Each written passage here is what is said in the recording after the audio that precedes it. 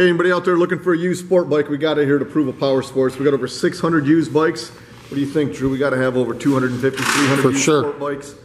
And this is a nice one we're doing a video on. It's a 2013 Honda CBR 600RR, and this thing is loaded up. It's got the tinted windscreen.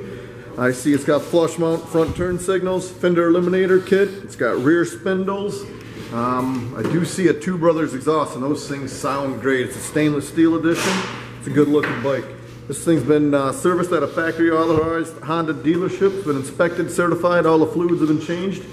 And this 2013 includes a six month warranty. You guys can't go wrong. Buy with confidence. Visit our website, guys. It's approvalpowersports.com. We've got guaranteed financing.